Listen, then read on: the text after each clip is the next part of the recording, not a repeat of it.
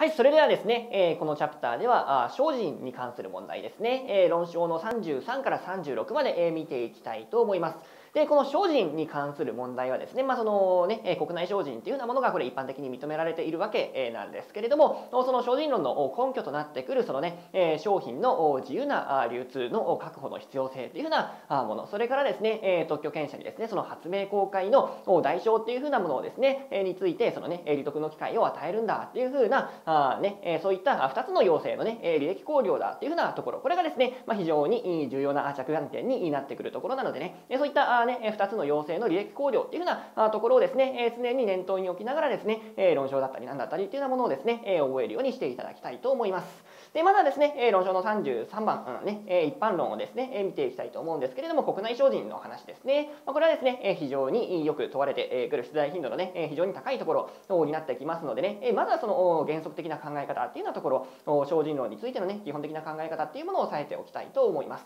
で、えですけれどもね、えまず特許権者は業として特許発明の実施をする権利を占有していてですね、え物の発明の実施行為としてね、えその物の譲渡だとかね、使用等を規定しているというようなことなわけなんですけれどもね、えそうするとですね、え条文上その特許権者等が適法に譲渡した製品の譲渡、使用等についてもですね、これ特許権者はね、特許権を行使してですね、差し止め請求とかっていうようなものをね、することができるようにも思えてくるわけなんですけれどもですね、まあね、これまあ、とあに書いても書かなくてもいいですけれども、一応ね、著作権法上は、これ26条の2のね、第2項というようなところでね、その譲渡権の精進なんていうようなものをですね、定めていてですね、特許法上はですね、その上、そのね、えー、まあね、その譲渡権の精進というようなものを規定しているんだけれども、特許法上はね、えー、まあ逆に明文の規定がないわけですからね。なので、えー、そういった精進っていうのが認められないんじゃないかっていうふうなことがまあ問題になってくるわけ、えー、なんですけれどもね、えー、特許法上も特許権者等が適法に特許製品を譲渡したんだからあもはや特許権の行使を認めるべきではないんじゃないか。そういうまあね、え、問題なんかもね、えーま、出てくるわけなので、まあ、そういったね、えー、著作権法上のね、え、規定との、ね、対比からね問題の所在なんかを明確にしていってもまあいいかなっていうふうなところではあります。でね、えー、まあ精進肯定していくんですけれどもね、まあそのね、根拠なんですけれども見ていきましょう。でそもそも特許法によるその発明の保護は、社会公共の利益とのね、え、調和のもとにおいて実現されなければならないぞと。で、え、そしてっていうふうなところですね、その次からが大事です。で、え、特許製品について譲渡を行う都度、特許権者のね、え、許諾を要するとなれば、商品の自由な流通が阻害されてしまうでしょうと。で、え、さらに言えば、あね、その特許製品の円滑な流通が妨げられて、え、かえって、特許権者自身の利益を害することにもなるでしょうというようななところからですね、その商品の自由な流通っていうふうなものをね、確保していく必要性があるでしょう。っていうようなことが一つ。で、他方でですね、もう一つ、特許権者は発明公開のね、まあ、代償を確保する機会は、これ保証されていてですね、特許権者等から譲渡された特許製品について、特許権者において二重に利得を得ることを認める必要性はないでしょうっていうふうなところからですね、そうすると、ね、その特許製品のね、ね、その商品の自由な流通っていうふうなもののね、確保の必要性っていうようなものが上回るでしょうっていうようなところころでそこでのところですね、えー、特許権者等が適法に、特許製品を譲渡。した場合には、もはやかかる特許製品について特許権の行使をすることはできませんよと、そういう話になってくるわけなんですね。であくまでもそのね、考え方の根本っていうふうなものはですね、その商品の自由な流通のね、確保の必要性っていうふうなものとですね、その発明公開の代償をね、確保する機会っていうものをね、特許権者にどの程度ね、保証してあげる必要性があるんですかと、そういったところのね、利益考慮になるんだというようなところをね、根本の考え方に置いておいていただいて、ここから先のね、え、まあ、応用的な論点っていうようなものを見ていきたいと思います。で、まず、論証の34番ですね。まあ、これも最高裁の判例がある非常に重要なね、え、問題であって、特に当てはめなんかがですね、まあ、大事になってくるところではあるんですけれども、34番、加工や部材の交換っていうふうなところなんですけれども、見ていきましょう。で、まずね、その精進論というようなものをですね、えー、まあ前提とした上でね、その特許権者等が自ら譲渡したその特許製品についてですね、で、第三者がそのね、特許製品について加工だったり、部材のね、交換なんかをして、譲渡使用した場合においても、おね、これ精進論によって特許権と行使が制限されてしまうんですかというようなそういうお話ですね。なんかね、そのせっかくね、その特許権者が作った特許特許製品なんかが第三者のもとでね、なんか改造とかされてしまって、それがね、えなんか流通してしまってるっていうような時に、そういったね、改造品みたいなものをですね、えー、ね、その差し止め請求みたいな、そのね、販売なんかをね、差し止め請求できませんかっていうような、そういうお話になってきて、精進してしまうんですかっていうふうなお話ですね。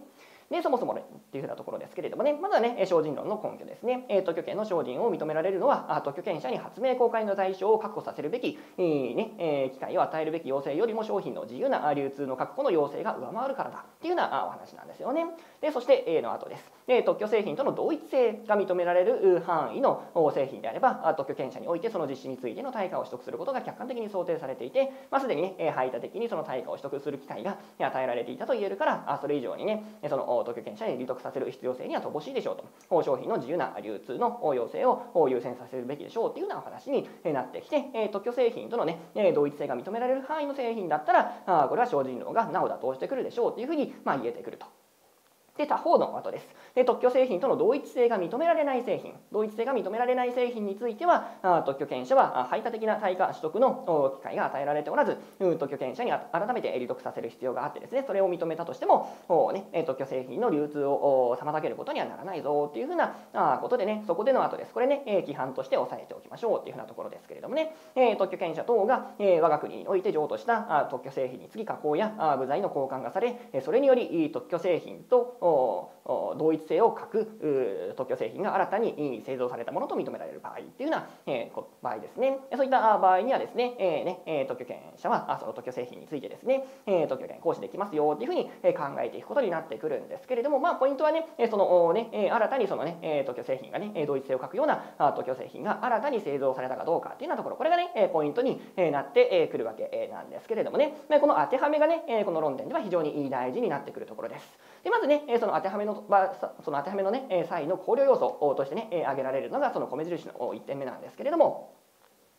で、え特許製品との同一性の有無は特許権者においてその実施についての対価の取得が客観的に想定されていたかどうかというような観点からまあ判断すべきだよというようなことなんですけれどもね。次ですね、え特許製品の新たな製造に当たるかどうかの判断のその考慮要素は何なのかっていうと例えばその特許製品の属性それから特許発明の内容加工及び具材の効果の対応それから取引の実情をなんかもね総合考慮して判断していきますよっていうふうなねそういったことが言われているわけですね。でかつですねそれそれらのね考慮要素をさらにねどういった視点から見ていくのかっていうふうなことなんかが米印の2つ目に書かれてあったりするんですけれどもね。その当該特許製品の属性っていうふうなものをね見ていくにあたっては製品の機能だったり構造材質用途対応期間使用対応こんなものがですね考慮されてくることになってくるんだと。でそれからですね加工及び部材の交換の対応としては加工等がされた際の当該特許製品の状態それから加工の内容及び程度それから交換された部材の対応期間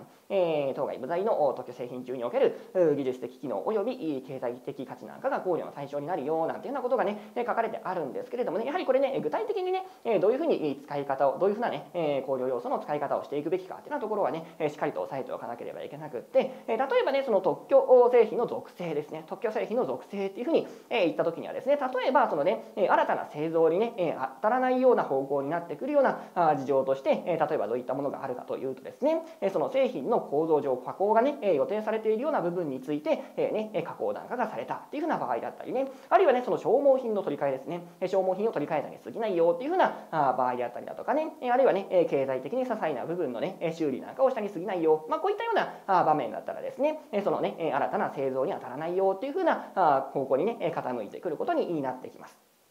で、さらに言えばですね、えー、そのね、えー、まあ、逆にそのね、えー、新たな製造にね、え当たってくるような方向のね、事情としてはですね、その対応期間の経過なんていうようなものがね、え挙げられてくるわけなんですよね。その対応期間が経過したのにね、修理なんかがされてしまって、その対応期間をね、経過しても使えるような状態にするっていうようなことになってしまうと、そもそもね、対応期間の経過によって、新たなね、特許製品っていうものを買ってくれるような、あね、えことをね、特許権者とは、特許特許権者としてはね、期待していたにもかかわらずですね、対応期間経過後もですね、えー、ね、同じものがね使われてしまうというようなことになってくるとこれはですねその対価を受ける機会というようなものがね特許権者としてはね減少してしまうわけですからそういった時にはですね新たな製造に当たるっていうふうに考えていく方向にはね傾いてくるかなというところですよね。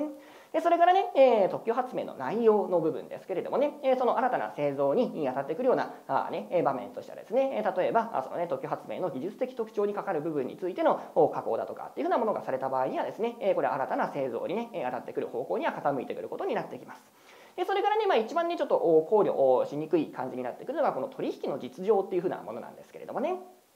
取引の実情。これはね一体どういうことをね考えていくんだろうというようなことなんですけれども例えばですねその特許権者がですね修理だったり加工をね容認していたような事情なんかをですね、えまあそういったものがねあればこれはね新たに新たなね製造に当たってこないよっていうふうな形のね方向には傾いてくることにはなってくるっていうふうなことでねその特許権者がね修理加工を容認していたような事情なんかがねその例えばその特許製品のパッケージなんかからね読み取れるかどうかなんていうようなことなんかをね考えていくことにはなってくるということでこの論証34番は当てはめのね考慮要素。これをねどういった形で考慮していくのか。っていうふうなところまで含めて押さえておいてください。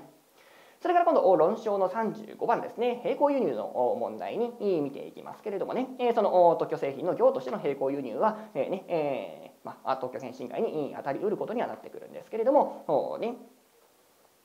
ただですね、その外国において特許権者が自ら流通においた外国特許製品については精進が認められてしまってですね、日本の特許権を行使することは認められないんじゃないかっていうふうな、そういうお話。これがね、その日本国内においてはまあ精進論が妥当してくるんだけれども、それがね、その海外からの並行輸入品についてもですね、妥当してくるんですかっていうふうなお話なんですけれども、まずはね、書かなければいけないのがですね、まあ、独自主義だったり、特許独立の原則っていうようなこととの関係ですね。それがまあね、このこの点についてっていうふうな2段落目のお話になってくるわけなんです。けれども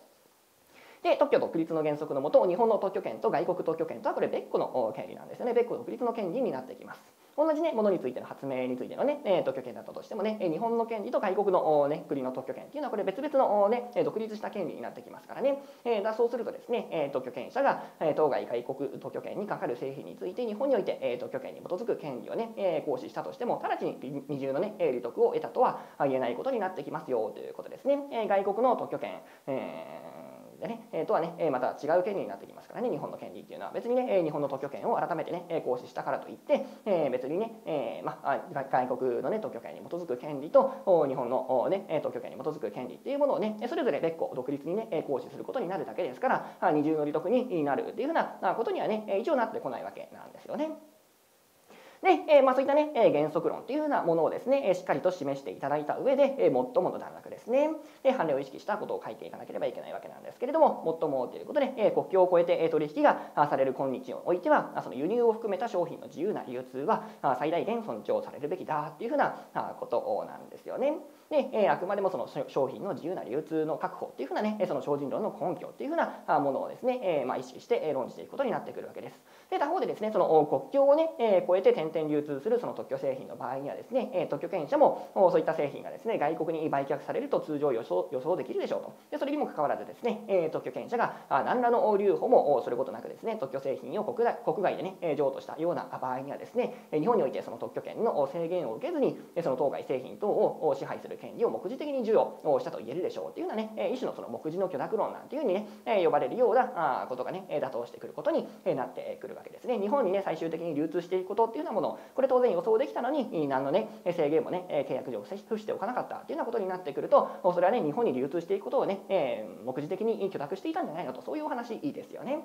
でそうすると、まあ、どういうふうに最終的になってくるのかということですけれどもこれはね規範としてしっかりと押さえておきましょうというところですけれどもこれは譲り受け人との関係とその譲り受け人からねさらに譲り受けたその転得者との関係とでね分けて考えていくことになってきます。でまず丸1譲り受け人との関係ですけれどもね当該製品につき販売先ないし使用地域から日本を除外する旨を譲り受け人との間で合意した場合を除いては日本でね特許権を行使できませんよというようなことです。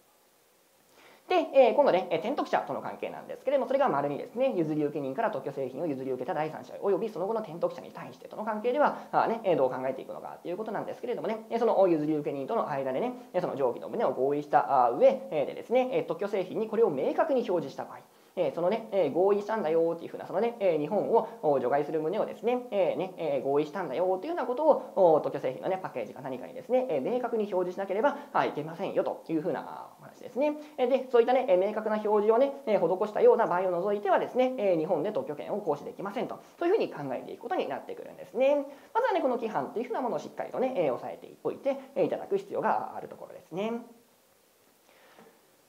で、まあね、司法試験とかではですね、そのね、表示を付したんだけれども、その表示がね、流通の途中で抹消されてしまったなんていうふうな場面なんかもね、出題されてはいるところではあるんですけれども、ここでまあ答え言ってしまったら面白くないのでね、それはね、そのね、まあ、過去問なんかを解く中で、ご自身でちょっと一旦考えてもらってですね、その過去問のね、解説の部分でね、そこについては触れていくことにしたいと思います。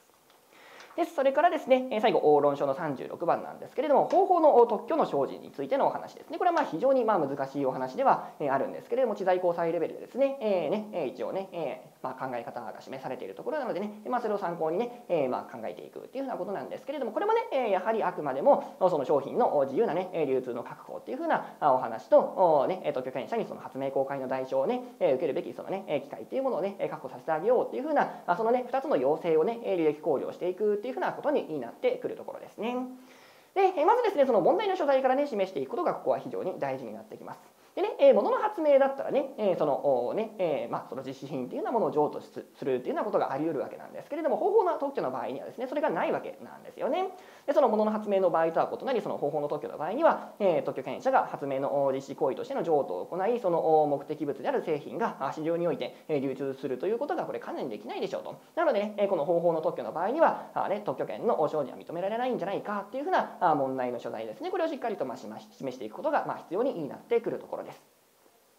でまず一般論をね、えー、ざっくりとまあ示してしまうんですけれどもそもそもということでね、えー、特許権の精進を認められるのは、えー、特許権者に発明公開の代償を確保させる機会を与えるべき要請よりも商品の自由な流通の確保の要請が上回るからだよということなんで、えそうだとすればということでねまあ一般的な規範として押さえちゃってもいいんじゃないかなっていうふうなところですけれどもねえー、方法の使用についてすで、えー、に特許権者に、えー、発明公開の代償を確保する機会が与えられておりしかも商品の自由な流通の確保の要請が妥当するような場合ですね、えー、こういう場合であればですね、え、方法の特許であったとしても承認を認めていくべきだっていうふうなあ、ね、考え方が一応できるだろうということですね。で具体的にそういうふうに考えることができるようなあ具体的場面としてですねどういう場面があるんですかっていうふうなことでね、え、下の括弧1と括弧2っていうふうなものをね用意しております。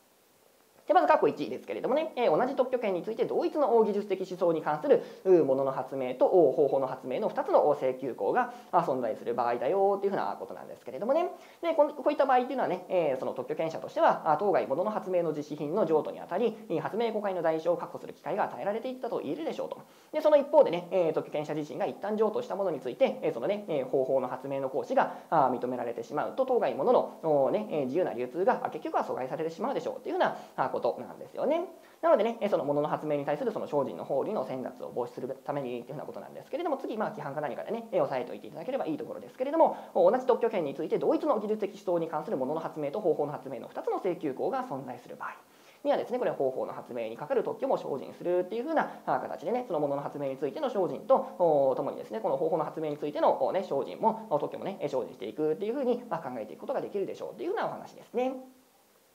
でそれからね、えー、括弧2番ですね特許権者自身が間接侵害を構成するものを販売したような場合ですね。で譲り受け人は当該ものを用いて、えー、特許発明にかかる方法の使用ができることをね前提としてこれを特許権者から譲り受けるんだというようなことなんですけれども仮にですねこの特許権者の許諾を要することになってしまうとですねこれ市場におけるその商品の自由な流通が阻害されてしまうでしょうと。あくまでもねその特許権者としてもねそのね特許発明のねその間接侵害品っていうようなものをですね、まあ、譲渡譲渡するっていうふうなことであればですねそのそれを用いてねそのね特許発明を実施することができるっていうようなことがね、えー、ねえ前提になっているんじゃないですかというふうなことなのにね、えその点でね改めて、えその特許権者の許諾を要することになっちゃえばあそのね間接侵害品っていうものがね、えもう流通しなくなってしまうでしょうっていうような、えお話ですよね。で他方でね、え特許権者は当該物を譲渡する権利を事実上独占しているんだから、えその方法の使用に対する対価を含めて、え当該物の譲渡価格を決定することができ、え発明の公開の代償を機会する確保する機会っていうのは保障されていると言えるでしょうっていうふうなお話なんですよね。まあね、えそのね、えそもそも間接侵害品ですからね、えまあ、特にね専用品なんかだったらあこれね、え特許権者以外のものがね、え譲渡してしまうとこれは間接侵害となってしまうことに、えなりますからね、まあ、事実上ねこれ特許権者しかその間接侵害品っていうようなものをねえ譲渡できないっていうような地位に置かれてくるわけなんで、えそのね、えそのねその間接侵害品を譲渡する権利を事実上まあ独占しているっていうふうにまあ言うことができるわけなんですけれどもね。そうだとするとですねその特許権者しかね売ることができない事実上売ることができないっていうようなことになってくるわけなんでそのね、えー、その方法の使用に、ねえ、対する対価を含めてねそのね間接侵害品の譲渡価格っていうものを決定できるでしょうっていうふうなお話でそれを通じてねその発明公開の代償を確保することができたでしょうっていうふうなお話ですね。でそこで、えー、そのね特許権者自身が間接侵害を構成するものをね、えー、販売した場合にはですね、えー、方法の発明にかかる特許も承認するっていうふうに考えていかなければいけないでしょうっていうふうな、えー、お話ですね。まあ、これがね、まあ、ちょっと応用的なお話ではあるんですけれども方法の特許のね、えーまあ、精進の話になってくるところですね。まあね、この精進の話っていうのは全体的にねその商品の自由な流通の確保っていうふうなお話とそのね、特許権者にね発明公開の代償をね、確保する機会をね与えるべきかどうかっていうのはそのね2つの、ね、履歴考慮になってくるのでね常にその視点を持ちながらですね論証というものをねしっかりと押さえておいていただきたいと思います。